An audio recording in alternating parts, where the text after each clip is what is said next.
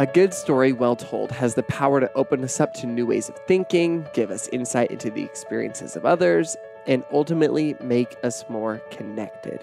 The more connected we are, the more impact we can make together. This is the mission behind Omaze, the online platform known for raising hundreds of millions of dollars for charity by raffling once in a lifetime experiences. They are changing the game. Chances are you've seen an Omaze video come across your social media. They are so engaging. Whether the unique experience is blowing up tanks with Arnold Schwarzenegger, watching the series finale of Breaking Bad with its stars, getting the chance to hang out with Iron Man, or making a cameo appearance in the new Star Wars film, each campaign has shaken up the traditional fundraising model in a way that feels fresh. I am so excited to share that the CEO and co founder of Omaze, Ryan Cummins, is my guest on the podcast today. Ryan and his best friend Matt received their MBAs from Stanford and worked together as executive producers for the Clinton Foundation. They dreamed up the idea for Omaze after they attended a charity auction when they were both broke college students. They realized really quickly that they would never be able to afford to win any of the auctions, and they decided to flip the whole model on its head, and now the rest is history. The work Ryan has done with more than 150 charities in more than 175 countries is something that has disrupted the entire philanthropic space. He's going to share about all of that today and dive deep into the intersection of philanthropy and storytelling and why that matters. I am Branden Harvey, and this is Sounds Good. This is the weekly podcast where we have conversations with inspiring people who are rejecting cynicism and using their lives to make an impact. Sounds Good is not your typical three steps to success podcast. We don't host this podcast for the sake of leaving you with bullet points on self improvement. We deeply believe that our lives are more complex than that. So we show up here on Sounds Good to ask big questions dive into nuance, and learn from each other's stories. I had so much fun with this conversation, y'all. My hope is that you're going to leave this episode feeling inspired by the agency you have to make a difference. Ryan has a lot of heart, and I learned a lot from his wisdom. So let's jump straight into this.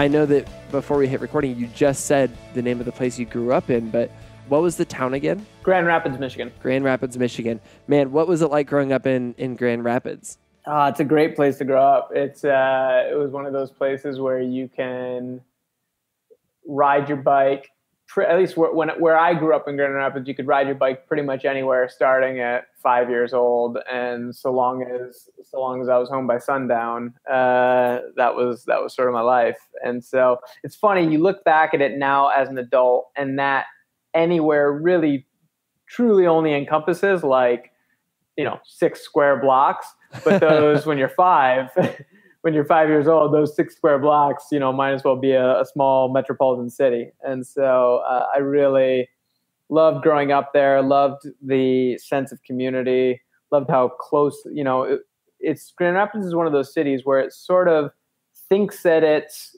verging on being a metropolitan city. Yeah. Uh, greater Grand Rapids technically has about a million people. Oh, uh, wow. But but it's it's similar to LA. It's a sprawl, so that's that's a real generous claim in terms of how many people are there. And so any area, any neighborhood that you grew up in Grand Rapids feels really close. Everyone feels like they know each other.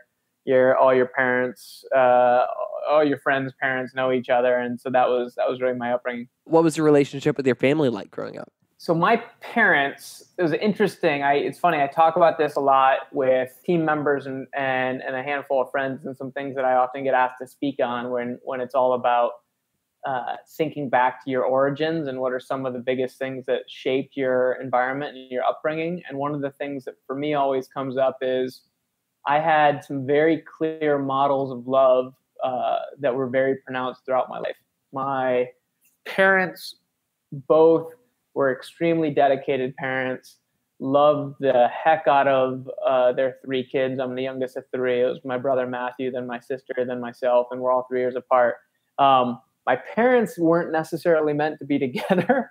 Uh, about a year, I, I, joke sometimes it's the truth, but I like to tell the joke. About a year before they got married, um, my uh, my dad was the captain of a drinking team in college, and my mom was in a convent. What? So uh, that's unreal. Yeah. So put that together. Wow. Um, so they weren't they weren't necessarily the likeliest of matches, and both great people, both uh, really truly good hearts.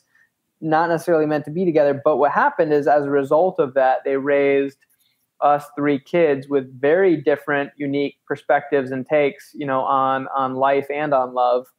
And we grew up as best friends. And so my brother sister and i there was always sort of a line in our house cummins kids stick together.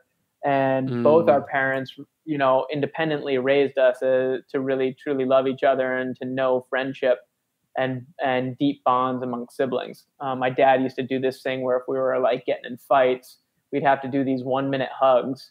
And you know, I had to do that same thing in my family too. Did you? Yeah. Yeah. And you're sitting there and you're like pinching each other and screaming. And if the hug breaks, then you have to re engage. And, you know, a one minute hug may turn into 15 minutes of torture. But by the end of it, every single time without fail, you you know, we'd be sitting there laughing and and it would shift. It would totally shift the tone. So man, um, that's a good tool. I forgot about that. Yeah, yeah. It's funny the tools. I like I told you, I I now have a 12 week old, and so I'm now thinking about like what were the things that really worked growing up, and how can I how can I model the best behaviors.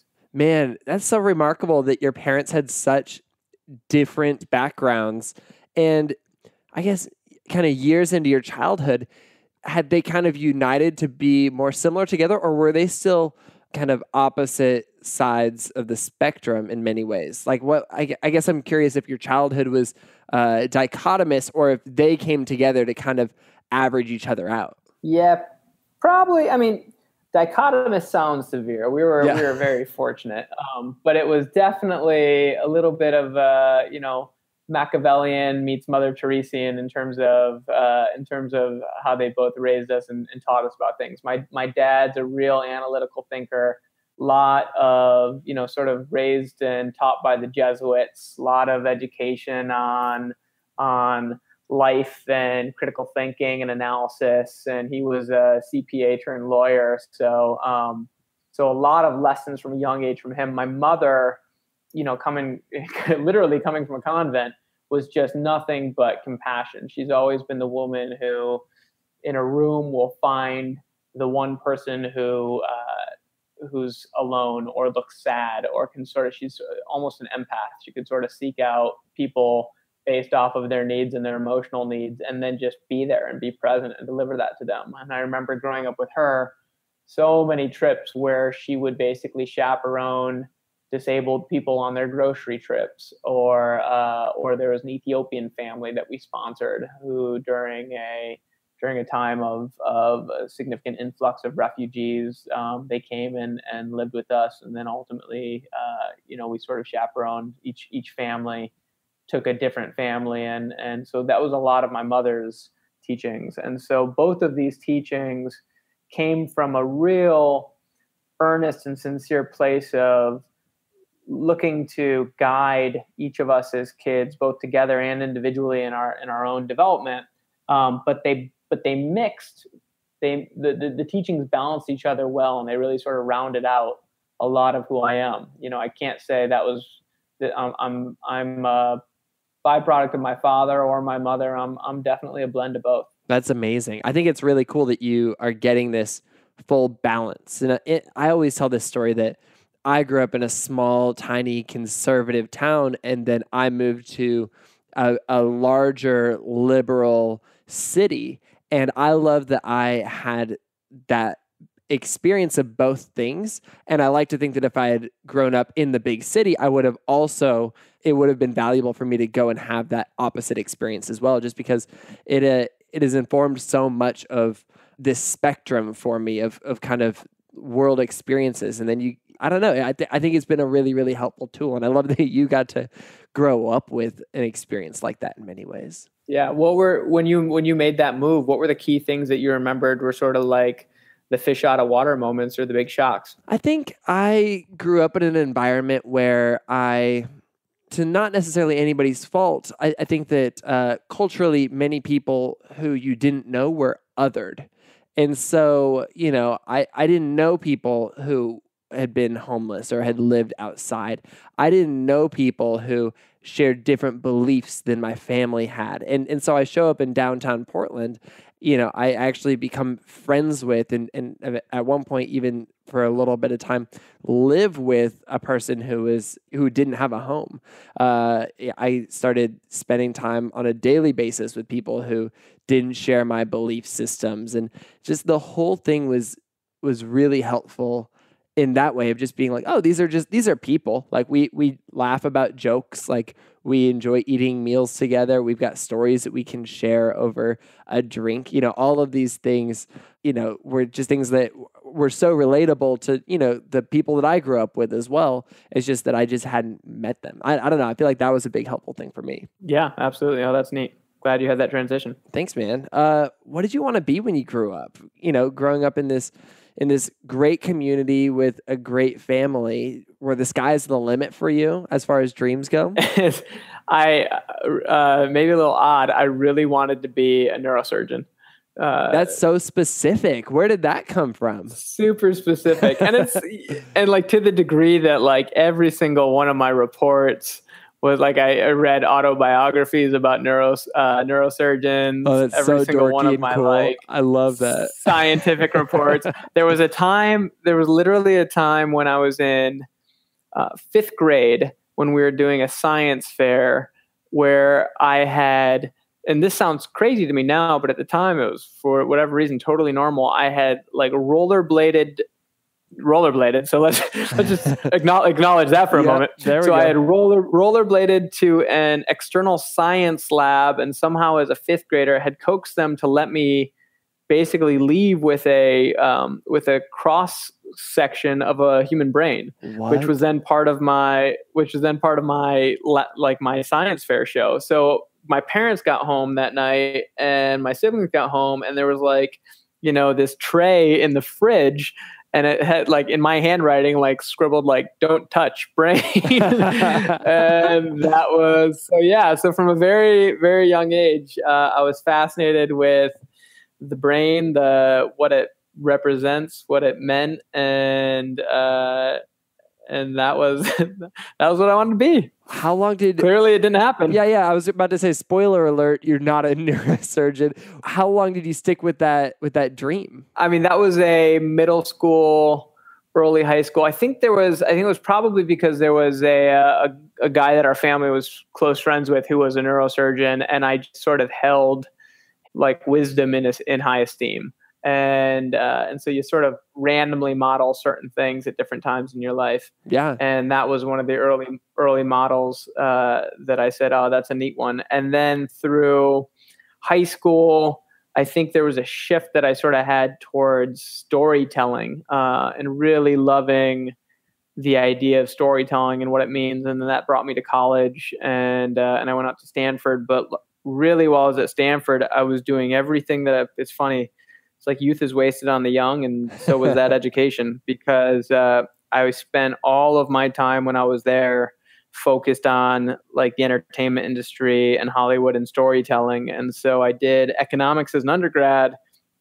but every summer starting when I was 18 would go down to Los Angeles and just like by hook or by crook exist there on on whatever jobs I could get while interning at the studio systems and learning and absorbing as much knowledge as I possibly could.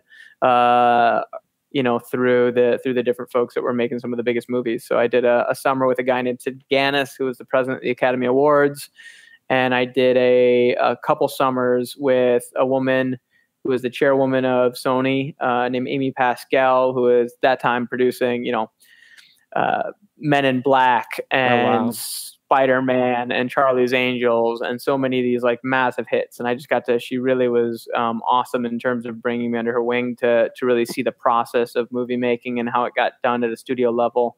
And then I did a summer with uh, a director named Spike Jonze. Yeah, and that was yeah, and it was such a great learning experience because basically he had a cabinet full of all of his short films and then a tr- you know huge volume of films that he never or, or short films or just things he shot that he never released. Oh, and so i just spent my entire summer just studying all of those things. And uh, so that finally by the time i graduated from stanford i was you know i was i was drinking the kool-aid. I just came right down to la and, and and got into got into storytelling as quick as i could. I totally resonate on kind of the storytelling thing. That's much of the path that I uh, kind of pivoted down at the end of high school and into college. And for me, I had kind of just like you said that you had kind of seen a model or a template, or you had a, a mentor of sorts who inspired you kind of in the neurosurgeon direction. I had that in the storytelling world where there were people who were kind of uh, they, they created a model of, of how I could see my life going down that path.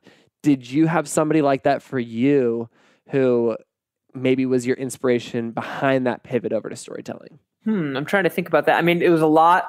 I was always deeply fascinated by like movies. I remember ever since I was a little kid.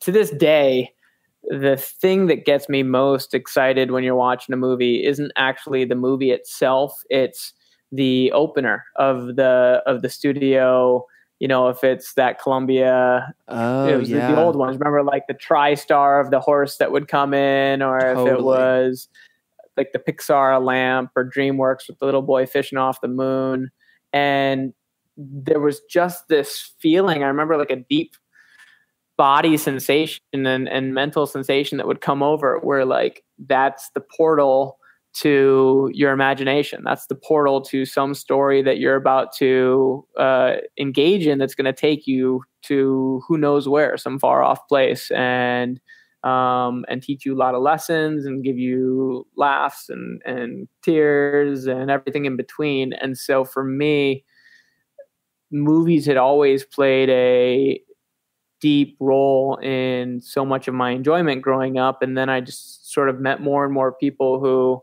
were great storytellers. There wasn't one, but that I think it was those summers, you know, that I spent time in the studio system, but that summer with Spike Jonze where I really started studying not just him, but all different directors. And then I started reading, there are a couple great books on like old Hollywood and new Hollywood and films in the 70s and 80s um, and what happened during that time. And then really more so now, I think when I was younger coming up, it was a little bit probably more like the Tinseltown aspects of Hollywood that really attracted me. And now it's much more the Joseph Campbell aspects. Um, I don't know how familiar you are with Joseph Campbell, but he's a uh, he's a guy who studied basically. He, he's no longer with us, but he's a remarkable professor back in his day who studied mythology across every different culture around the world and basically started to find throughout all of these different mythologies the through lines that were similar between cultures and the shared stories that we have you know regardless of whether or not you were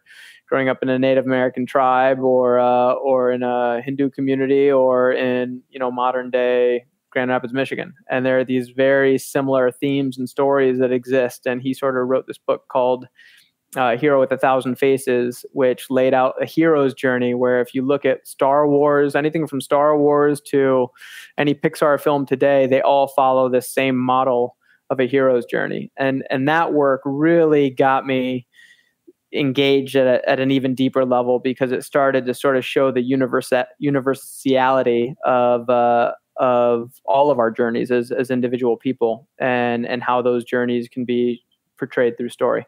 Uh, that's incredible. And I, I love that book. It is so dense, but so good. I guess I'm curious did you have a vision for what you wanted to do with storytelling? You know, as you were going through this process and, you know, getting these opportunities in Hollywood and LA, did you know what purpose you wanted these stories to tell? Or did you just you cared about the art of storytelling. Man, I, I wish, I wish, I, I wish I knew. Uh, I'm sure my parents wished I knew what I wanted to do with this too. Uh, uh, I was interested in people and I was interested yeah. in stories, and uh, and I had a lot of directors that I thought were putting out, you know, really groundbreaking creative stuff, and that was probably the extent of it. You know, to some degree, I'm sure I was to to some degree, probably to a large degree. I'm sure when I was in my young 20s, I was you know much more self-focused and self-centered and and and so i'm sure the stories played a role in terms of like who i thought i was at that point in time. But um but even cutting through that you know what stories represented for me at that point in time was just a deeper connection with human beings. And i think that's the that's the through line that drew me to it is like that feeling that you get when you cut through the pleasantries with a person and really dig into who they are and what their story is. And that's a difficult type of conversation that is to some degrees you know i feel like more and more in our uh, uh, amid our modern technology we're losing that style of conversation. But what movies tv shows and even short form stories do is they give us a way to reconnect with that and to connect with people. And so i think at the end of it while I used the word story and storytelling, it, it was really about inspiration and connection and and tapping into that feeling of being inspired as a human being and using that inspiration to connect with people and the virtuous cycle that that creates. And so through all of this, kind of what were the next steps that led to eventually creating Omaze? I guess I'm curious to hear you bridge that gap. Yeah, so hindsight's always twenty twenty. Uh, you know, you can you can paint you can paint a really nice story when you're looking back at it. I wish that while I was doing it, I could say, "Ah, oh, this was the natural next step that A led to B led to C." oh, I feel you. But instead, it, it felt probably more like you know, A led to watermelon, led to uh, who knows what else. like, but what it was was I you know, so I started in in those internships.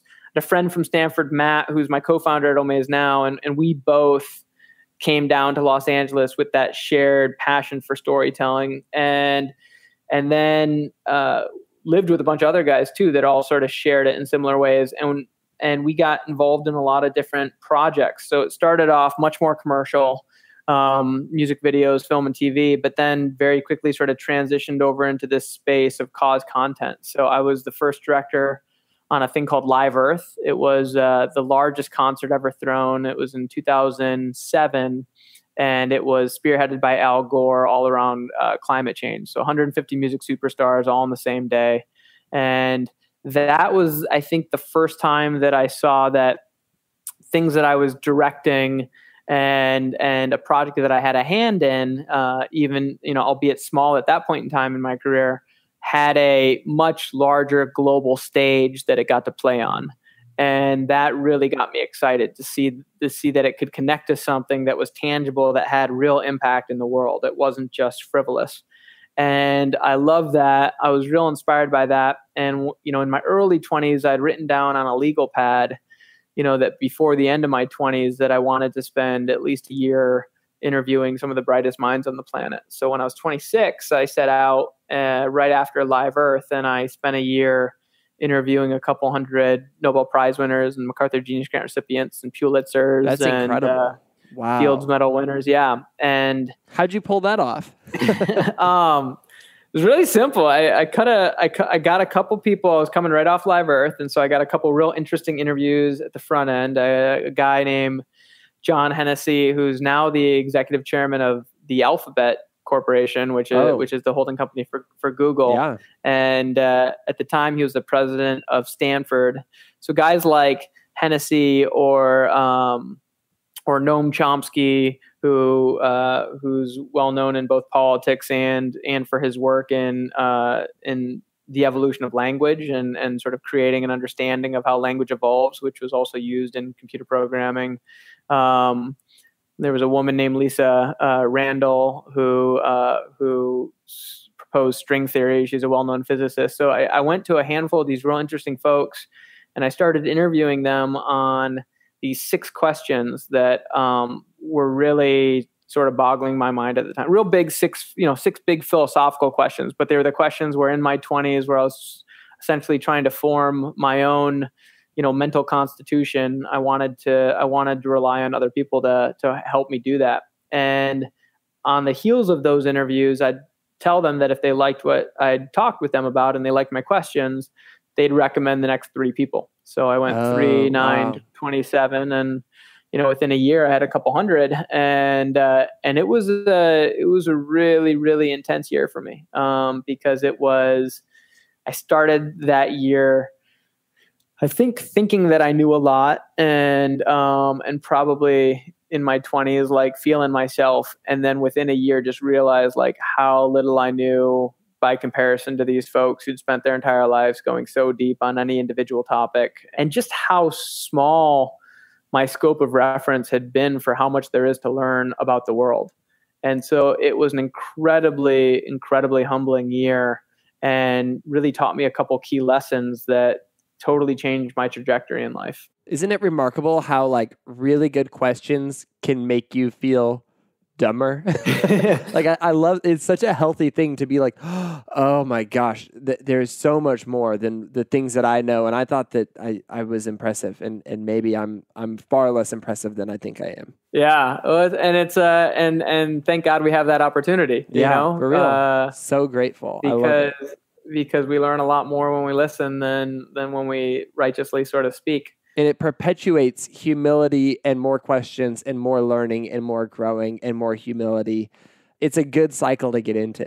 Yeah, it really is. I had listened to uh, one of the one of the things that allowed me to get into that cycle was after the first 10 interviews I did, I went back and listened to them and I realized that at like all the most critical moments of these interviews, I was interrupting the thinker with what I thought they were trying to say. Hmm. And so I was just totally killing the interview and preventing myself from being able to basically learn or take in a new nugget of wisdom and and after those first 10 i really wanted i was pulling my hair out i wanted to shoot myself so then i had to train myself it was totally a retraining but to just to learn how to interview properly which is to ask a question and then quietly sit back and and allow the answer sit with the discomfort of silence and allow the interviewee to fill that space and then as they give sort of that first low hanging fruit response, then say, you know, and why do you think that? Or, and then what happened? And, you know, help me understand that more. And then just really digging into the, the true marrow of the conversation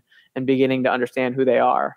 And for me, that was a combination of both that approach, but I'm also someone who I, I can't really understand who a person is without understanding their origin story and knowing where they came from, because I think that that determines so much of what we do in our lives and how we think about the world and what our perspective is and why we end up um, you know pursuing whatever endeavor we may be on. That's so remarkable though and i love that that a lot of that i mean i hate the word hustle but i love that that truly came from a place of you uh, owning that pursuit and that you really leaned into this is an opportunity to grow and of course to continue meeting these amazing people what kind of doors opened up from getting to have all of those amazing conversations? It's interesting for me to look back at because what, when I was in the middle of it, um, it was really, it was also very like emotionally tasking because I was doing this, I was learning all this stuff, but I was also like couch. I mean, I was in my mid twenties. I was like couch surfing from different friends' houses to be able to do this for a year, and uh, and everyone seemed to get a kick out of it and think it was interesting and neat. Um, but while I was doing it, I was watching, you know, a handful of my friends getting director roles at, uh, you know, this new company called YouTube or this new company, you know, called Facebook. And so I was watching this parallel, these parallel journeys of my friends who were, uh, who were really taking on, you know, their own interesting roles. And I was sort of sitting there wondering, you know, am I completely making a mistake and wasting my life right now? Um, and they were looking at me and saying things like it's so cool that you're doing this i was like ah oh, thank you for saying that as you have your you know lovely paycheck and i'm spending a year not not quite sure what's going to come of this. Um, but the doors that i think that it opened is it i think it gave me a deeper foundation for understanding how i think about the world. And i took i took some time you know a couple months after i finished all those interviews to really watch them and dig in and transcribe them and and internalize a lot of the lessons uh, so that I wasn't just parroting things that other people said, but I sort of formed my own perspectives um, on the different matters. And then from there, uh, that was, you know, one of my key steps. You know, I, I, mentioned Matt before. Matt had had been on his own journey during that time, and and we had oftentimes worked together on some of these um, on some other projects, and and that brought us back to this idea of really wanting to be in social impact and create something that had a, a, deeper you know higher meaning and resonance with the world as opposed to just selling ourselves out for any next gig. And we'd worked on a couple more campaigns together and then realized that uh, that we didn't necessarily have the model that was going to allow us to do that in the impact space successfully. And we took a big step back and sort of surveyed the landscape of cause content and saw that that was something very endemic to the space. There are a lot of people putting on really big concerts and conferences and to dos, but being able to take fans that were coming to these things and and engage them at a deep emotional level and essentially convert them into someone who um, is a is going to take action on behalf of that cause for their lifetime was much more difficult. And so, short of having the answer, we went back to business school and spent two years just trading ideas back and forth and while we were there, uh, there was a we were invited to a charity gala. It was the National Boys and Girls Club of America, and they were honoring Magic Johnson. And I mentioned, you know, Grand Rapids. I grew up in Grand Rapids, 45 minutes away from Magic. Was a huge Magic fan when he was playing for Michigan State, uh, right down the street. And then Matt had grown up in Los Angeles and was a massive Lakers fan. And so we're sitting there, and they're auctioning off the chance to hang out with Magic sit courtside at a Lakers game, and it's this dream once in a lifetime experience. And so, you know, our hands shoot up right off the bat, and it's uh, fifty bucks, and then hundred bucks, and then it's five hundred bucks, and then it's a thousand. and when you're in B school on loans, a thousand bucks your month's rent. And so our hands sort of sheepishly dropped, and then it went to 5,000, 10,000, 15,000 and, and closed there. And, uh, you know, to, to, to throw some salt on the wound, I knew the guy that bought it at 15k, and he wasn't even a Magic fan. He was a no. Clippers fan. Oh, yeah. So, uh, so we were driving home that night and talking about it. And we said, you know, imagine if for ten dollars anybody had the chance to win this incredible once in a lifetime experience. You know, how many more people would have participated? How many? How much more money could the Boys and Girls Club have raised? How much more awareness could they have garnered? Yeah, and that was really the the the impetus for Omaze. That was the, that was its origin story. Wow! And then where did the name Omaze come from?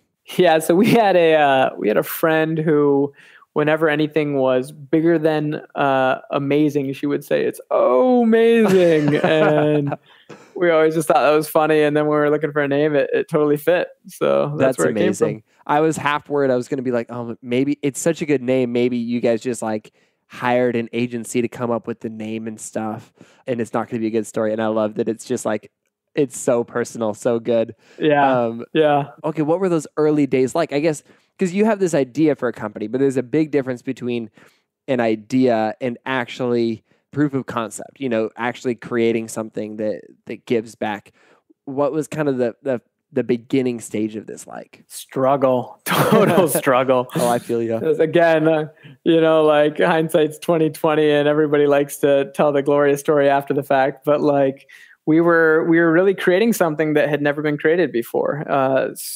people, we, we had to go out and raise our first initial round of capital on essentially an idea that that no one knew if it was even possible, and so including you know at times us we believed but but we hadn't done it. So the mechanics of it was was new to us and so in that first year you know there even our investors wondered like is sweepstakes going to be looked at as scammy? Will celebrities want to get involved?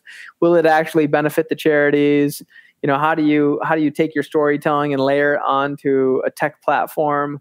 And so for that first year a lot of our experiences really struggled. Um, you know, we had our our first experience that we ever launched was the opportunity to be a guest host on Cupcake Wars, and uh, so we have a, a, wonderful friend Justin Willman who was the who was the host of that show and a, a wonderful human being, but not a whole lot of people were like massive, massively into Cupcake Wars, uh, you know, at least on a level that was going to help raise tens of thousands of dollars. So that one raised seven hundred dollars. Yeah, it's kind of a show that you watch more passively while you like cook a meal. That's right. It is Yeah. something that you're like crazy excited. About. That's about. right, and uh, and so that one raised seven hundred dollars. We did another one, which was the chance to play Battleship against four star Admiral Mullen, uh, who's you know an incredibly decorated admiral, but it turns out doesn't have like a massive social media following or any at all. Oh, Um, and so we really had to go through a lot of these learning lessons, but we were, you know, just hustling as, as hard as we could with past relationships and people to try and convince them that this was going to work. And then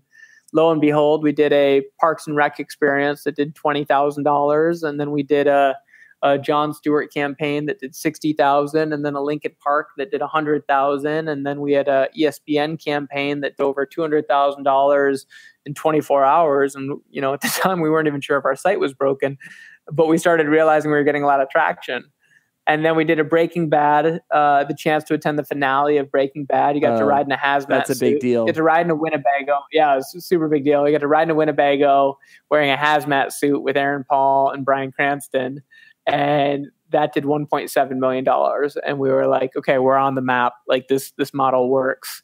wow. And then we did a Star Wars, and that did uh, was the chance to be in Star Wars Episode Seven, which was just the Oh, that's a huge deal. Oh, incredible! And it was the you know it was a collaborative effort of uh, J.J. Abrams, who's the director of Star Wars, and and Katie McGrath, uh, who's an incredibly brilliant wife, um, who's in, who's very philanthropic and uh, and has a incredible mind for impact. And then Lucasfilm and Disney, and, and they all came together and, and put this on.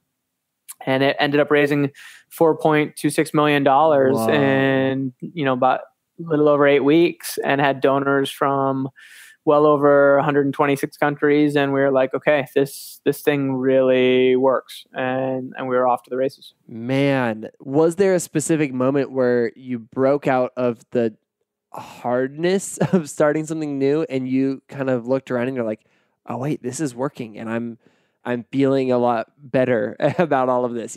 Was there a transition moment for you? Will there be? um, like I'm still waiting for that.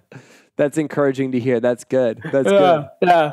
You know, when you're doing this type of thing, I still feel like we still feel like we've only scratched the surface of what there is to be done. So I don't, I don't think that unless the company had a major event or uh, or raised a billion dollars for charity, like we'll feel like we've made it. Like we're we still feel like we're on the treadmill of trying to change the entire space of impact and trying to prove ourselves and prove that this model can really scale. I mean, the individual giving in the US is a $330 billion market, and only 7% of that's online. Oh, and wow. so that just goes to show you how much opportunity there is to really change this space.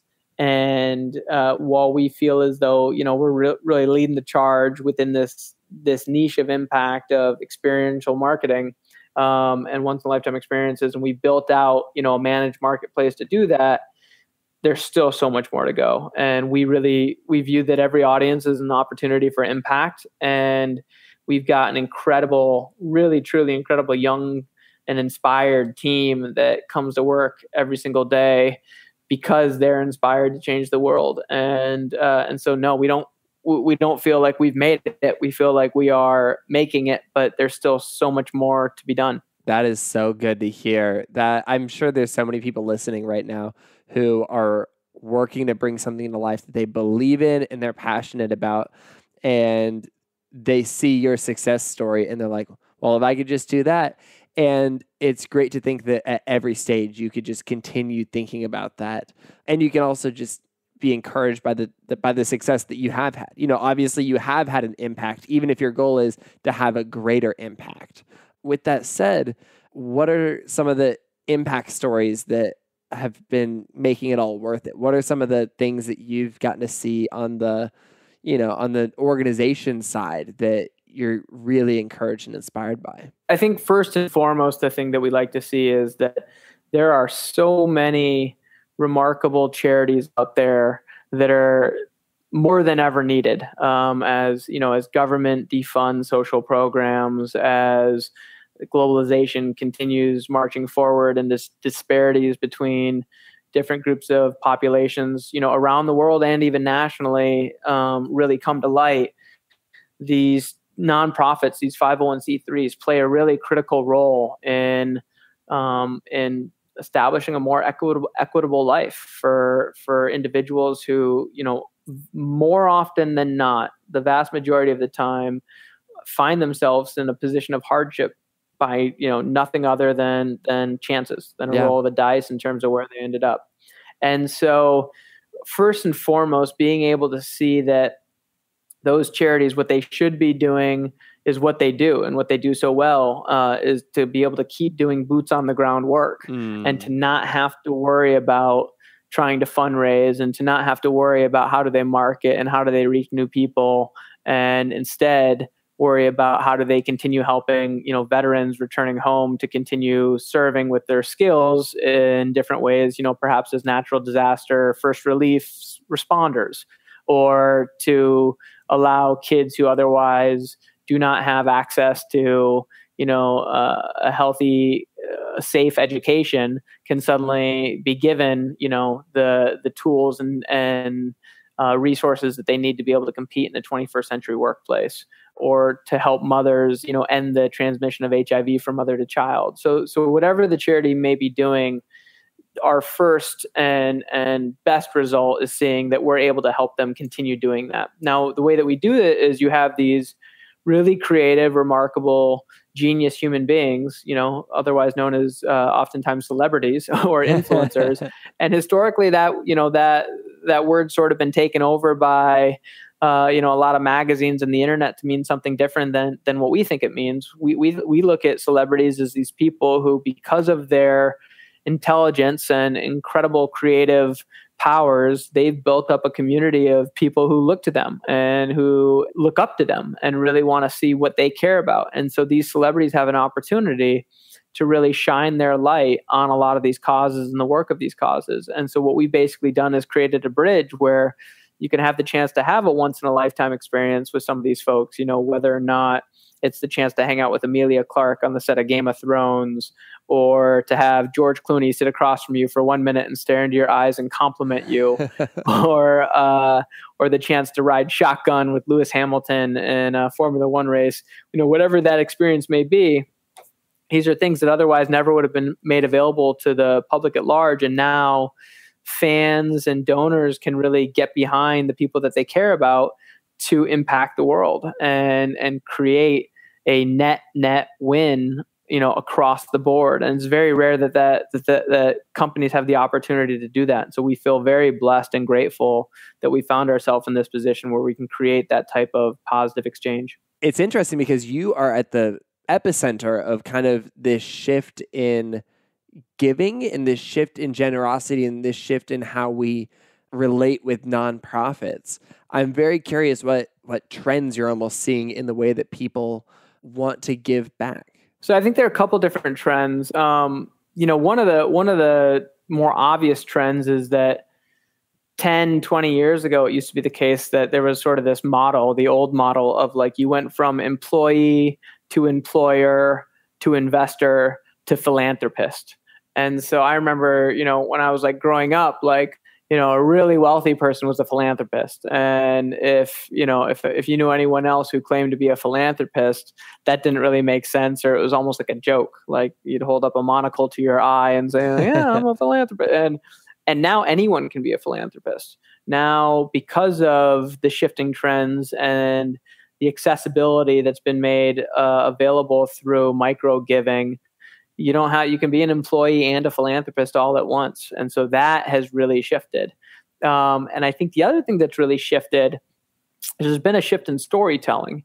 And so storytelling over this last 20 years has gone from something that was very unidirectional to something that is much more immersive. And people viewers you and i all feel a much greater sense of agency in the stories that we participate in. And so you see that, you know, uh, the ALS, the, the, the ice bucket challenge, that was a story that, yeah. that took place. That, that was a story that spread. And people wanted to both be a part of that story by filming themselves doing it, as well as have agency within that story by making donations to, to fund that cause. And so I think that that shift of anyone being able to be a philanthropist at the same time as people now having a much greater degree of agencies in the stories and the narratives that make up our lives are two things that have happened simultaneous, simultaneously that are entirely changing the face of, of philanthropy and impact right now. What do you think is going to come next then? I think so. A lot, a lot more agency. I think that I think that what we're seeing is, and you've seen this, regardless of your politics, you've seen this after the last election. A couple of things. One is, you know, when you have less than 20 human beings uh, having approximately, you know, half the wealth of of the world, then there's a there's an imbalance that that exists. Um, and I remember recently. Uh, listening to um, the head of the World Health Organization say that you know if if there's a 10% shift in salary, you know, at, at a local level, and people are aware of it, then generally they can they can be okay with it. Once you start going, you know, higher or lower, higher than a 10% shift between you know you and another person, you start to get a little bit antsy.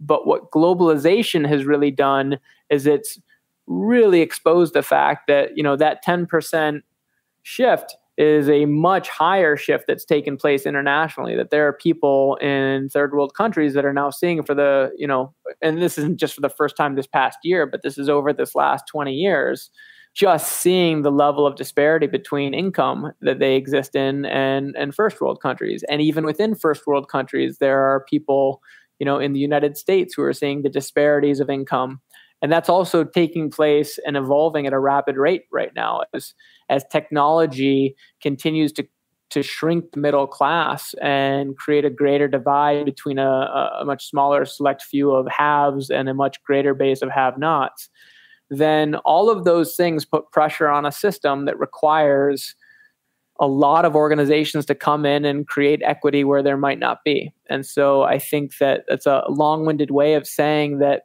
in our case, in our model, we see that people who do have the means really want to take a much greater agency and and role and be a be a role player, be a protagonist of this story of humanity by helping their fellow brother and sister to have another uh, have a shot at life like they've had. Where do you see your role in all of this as this is growing? You know, how how do you want to continue to to play a part in this encouraging story of people wanting to take agency over you know solutions that they want to see in the world? Yeah it's a good question Branden. Um, i mentioned uh, i mentioned we did that star wars campaign and when we did that uh, i had a real unique opportunity to sit down for a short while with with jj abrams and katie mcgrath and like i said they're two just of the most giving intelligent bright human beings i've ever met. Uh, you should really watch JJ's career because I think it's going to take off eventually. Um, yeah, and uh, and he said this thing. He said, uh, you know, for a story to truly be great, the protagonist has to have something that they want to have happen with every fiber of their being, and a very clear tragedy that will result if it doesn't. And so when I think about my own life, I sit there and I've really started to to put my own life through that lens of, you know, we are all the protagonist of our own stories.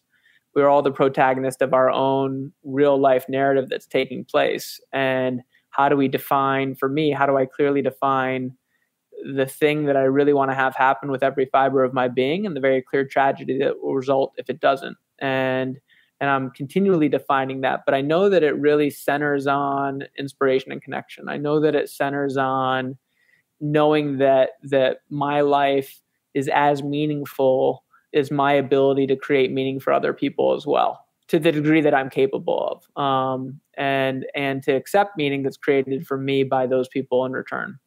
So that's that's my own personal journey. As a company, what Omaze uh, is based on is this higher purpose that we serve world changers and our mission is to build a community that leverages the power of storytelling and technology to transform lives.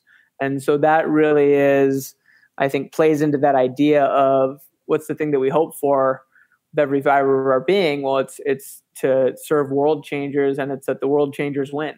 And what's the clear tragedy that results if it doesn't? It's it's that you know lives are not improved. And so there's a little bit of a parallel path there between what I'm trying to do as an individual and between what the company's trying to do, which I suppose there, there probably should be. Man, that I love the clarity in which you speak to all of this. And I think kind of as a way to wrap up this conversation because this has been so inspiring is for people who are listening. Once a year, I, I, think clearly, and then the yeah, the other 364 days are just a complete mess. Well, I'm glad I caught you on the right day yeah. because this has been a good conversation. Yeah. As kind of a final question to wrap up this episode, for people who are listening and they want to innovate in the way that they tell stories, in the way that they make a difference in the world, they want to be a part of this greater narrative. What advice would you offer them on how to bring this thing to life in the same way that you know you've brought this thing to life. What advice?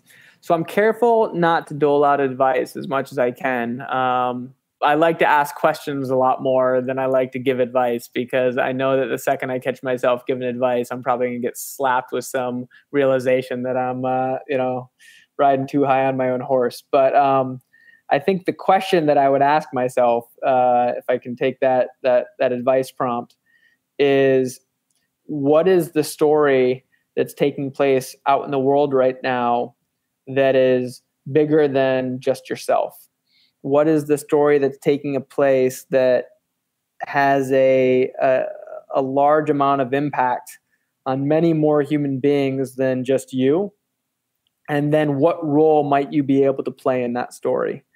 And when you look across the course of history, every major icon, cultural icon, leader, uh, revolutionary, reformist, um, change maker has been someone who's been connected to a story that's much bigger than just themselves.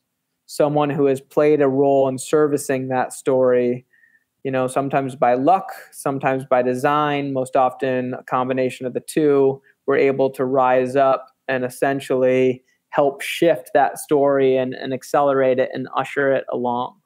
Uh, and that's actually one of the things when I interviewed all those thinkers that I really learned from them was that the thing that had made them so great and why they won accolades like Nobel Prizes and, and such were that not because they were just so great themselves, but because as a result of their work, millions more have been able to accomplish new and, and higher feats in this world and so it really is one of those um, scenarios of uh, you know on the shoulders of giants. And so i would just suggest to people who are trying to figure out what they're trying to do how do you think not in terms of yourself but in terms of a much larger a 10x 100x 1000x vision of humanity a plan for humanity that needs to get accomplished and then what role might you be able to play in that?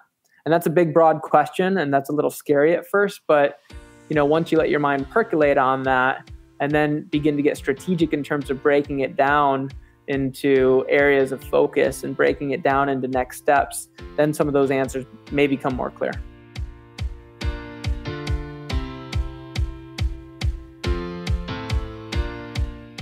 Man, I love that Ryan has spent his life wanting to build a community that leverages the power of story and technology to transform lives. I think we can all be inspired by that. You can find and follow Ryan on Instagram and Twitter, and you should absolutely check out what he's doing at Omaze at omaze.com. Spend a few minutes looking for an experience you're thrilled about and consider giving some money to a meaningful cause. And who knows, you might just end up with the experience of a lifetime. In fact, if you do, you have to tell me. If you're new to Sounds Good, we would love for you to stick around. You'd also love my conversations with Ben Nemtin and Taylor Tippett, both wildly inspiring individuals who have creative and insightful ways to challenge the norm and make lasting impacts in the world. You can find both of these episodes and more than 100 other episodes by searching for Sounds Good wherever you listen to podcasts. Make sure that you hit subscribe to keep on getting more inspiring conversations with incredible people delivered to your phone while you sleep. And for those of you who are regular listeners to the podcast, please consider supporting the show by telling a friend about the show or leaving us a review on Apple Podcasts. This podcast is created by me, Branden Harvey, is a part of Good, Good, Good. a community that believes in the power of celebrating good news and becoming good news. Chad Michael Snavely and the team at CM Studio edit and mix the show, and Christy Karen Brock offers production support. You can get lots of hopeful stories on social media by following us everywhere at GoodGoodGoodCO. We also create a beautiful quarterly newspaper that celebrates the people, ideas, and movements that are changing the world for the better. It's called the Good Newspaper, and we actually recently released our newest issue. If you haven't already checked it out, it is so much fun. It's got pages and pages of stories that are full of real messy hope, and you can order it today. Check it out in the link in our show notes, or just visit goodgoodgood.co. And on that note, that is a wrap for this week's episode. Go out and take some time to think about how you want to show up in the world for something that is bigger than yourself. Move towards a new sense of agency that what you do matters. Sound good?